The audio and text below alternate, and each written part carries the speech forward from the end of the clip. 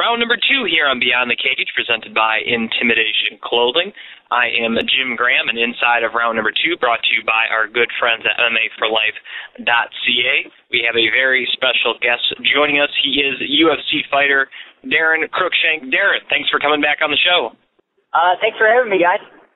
Well, looking back at your last fight, Daron, you fought John Makdessi, and unfortunately, you weren't able to win in that one. But what were you able to take away from that fight?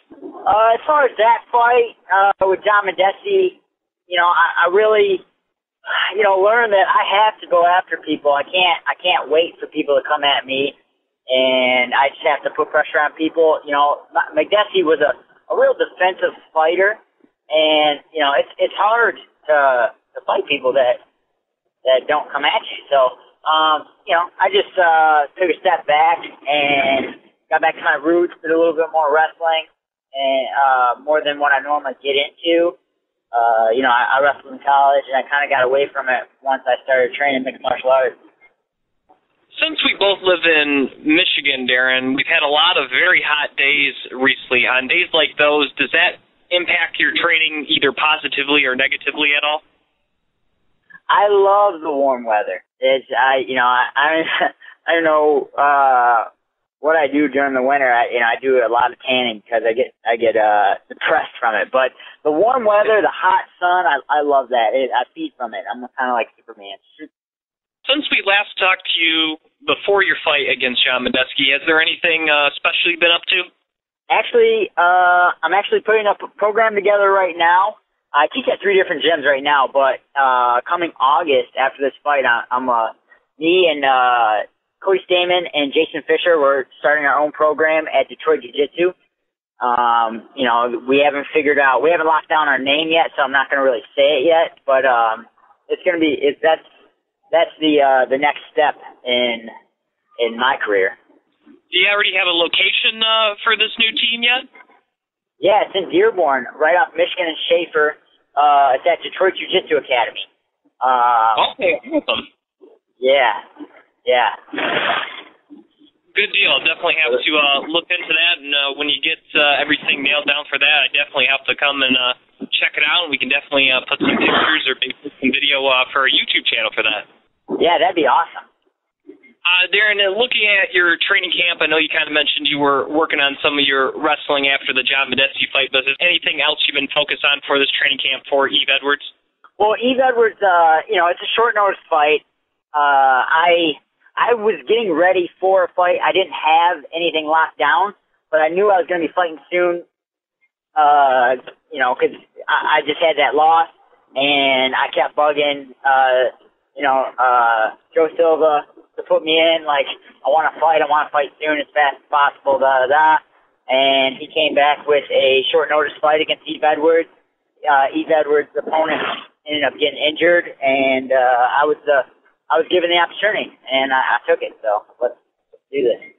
Have you taken fights on short notice in your career before, Daron? Here's the thing. I'm an upcoming fighter, and that's really the only way I'm going to have opportunities. This in my where I'm at, I have to be ready. You know, two three weeks out, shape all the time because that's when the big opportunity is going to come. You know, I, I'm not a big name yet. I don't get six six week notice that often. Even before the before the Ultimate Fighter, all of my fights were three four week notice. Not even you know sometimes uh, two weeks, and that's kind of what made my career. You know, I, I do really well under pressure like that, and you know, I'm constantly training. I'm always ready. You know, this is a sport that I love to do. If I didn't do mixed martial arts, if I didn't train every day, I would probably just sit at home and look at the wall. Like, uh, there's nothing else. So, I'm not one of those guys that after a fight takes a month off, does nothing. I'm basically back in the gym that week. Uh, not necessarily training hard for me, but you know, I, I like to uh, get everybody else ready for their fight. You know, I, I feel this is uh this is what I do. This is what I do every day. In your division, the lightweight division, TJ Grant had to drop out of his title fight due to a concussion, and that was supposed to be on August. And he has gone on to say that he isn't guaranteed a title shot upon his return to training. And I was wondering, as a fighter, if you were in his situation, knowing that he isn't guaranteed a shot upon his return, would that sit well with you? Well, for me, you know, it's it's not necessarily about getting a title shot or anything like that. You know, I'm there to the way I see it is I'm an entertainer, and every time I have a fight, I'm basically putting on, you know, a show for the fans. So that's that's all I really concentrate on, and as long as I keep doing that, then eventually I'll have a, uh, a title shot. UFC 162 happened not too long ago, in which Anderson Silva finally lost. I wanted to get what were your thoughts uh, on that night where he eventually did lose. Here's the thing: I am a still a big fan of Anderson Silva. You know, everybody has brain farts, and uh, you know, once in a while, I feel like maybe he just got, you know, uh, his head just got in the clouds a little too much. Uh, the guy's still an amazing fighter, and I have uh, tremendous respect for him and his skills. He will definitely probably come back and uh, you know show the world what he's made of. I know we're a few days before the weigh-ins on Friday, but how's your weight doing? Well, being it's you know short notice fight, luckily uh, just before I got the call, I just got done doing a 10 day detox, uh, basically raw food diet, raw food diet, basically fruits and vegetables. I eat like a deer. Uh, so, you know, my weight was pretty high. I'm about, you know, 15 pounds over, which is about normal right now. Uh, you know, shortly this week, it'll come off slowly but surely. And, uh, you know, hopefully I have a good weigh in.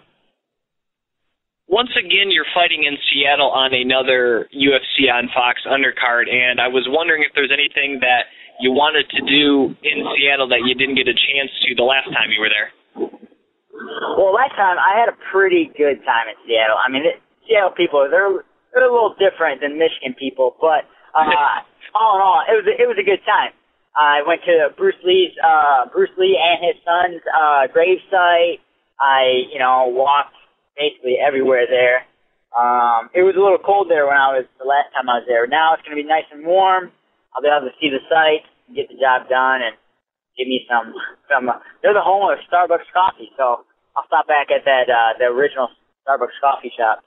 Also, on the same night, you were in Seattle fighting on Fox. Your opponent on Saturday, Yves Edwards, also fight. I know you took this fight on short notice, but in my opinion, he stole the knockout of the night award away from you that night. And I wonder, did that have anything to do with you signing on to fight Yves?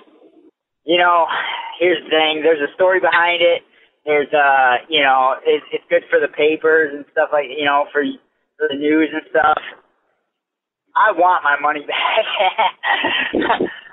you know, but you know, the UFC takes care of their guys. You know, they they uh they took care of me. They you know, even though I didn't get like, you know, the seventy grand or whatever it was that night. But uh this fight has the potential for for getting that, for making the knockout of the night or the fight of the night or something, you know, spectacular. You know, Yves Edwards is in my eyes me but way older. You know, he, he fights.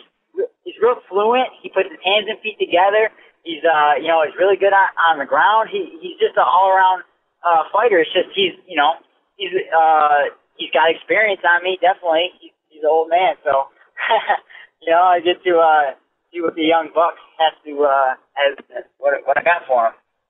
And what will you have to do against him to be successful on Saturday night? Well, I have to punch and kick him more times in the face than he punches and kicks me in the face. I like that strategy. That's a good one. Like you said, he's a veteran of the sport. He's done a lot. I believe he's fought over 50 times professionally. What would a victory over a veteran like that mean for your career? Oh, it's, it's a huge opportunity for me, you know, to uh, kind of put my name a little more out there and uh, be the guy that's been in the sport for so long. You know, I have tremendous respect for him. I think he's been in the fighting the UFC since 2001. I wasn't even graduated from high school in 2001. You know, so it, it's you know I grew up watching him, and uh, it's it's uh it's a you know I'm very thankful for the opportunity that UFC gave me. And in the main event of the night, you'll be fighting on UFC on Fox 8. Demetrious Mighty Mouse Johnson will go up against John Moraga to defend his flyweight title. I was wondering who you had in that one. Well, that's the little guys, right? The really tiny guys. Yes, the really tiny guy, the 125 yeah, guys. Demetrious, Demetrious, uh, d- definitely, uh, definitely a little guy. Yeah. he, he's got it. He's, the, the big thing about those the, the small weight classes, it's nonstop action. Those guys go at a pace that you, you know the bigger weights can't just can't keep up with. I love it. I gotta ask you this because I know we're both uh, not only Michigan natives but Detroit natives. I wonder if you've been following our Detroit Tigers at all this season. No, I haven't. I've never been a fan of like I don't know baseball. I can't even throw a ball. I'm terrible at it. So I try to stay away from it as much as possible. Okay. All right. But I was just wondering go, if you've been keeping go, up with Go Tigers. Go Tigers. All right. Yeah, of course. yeah.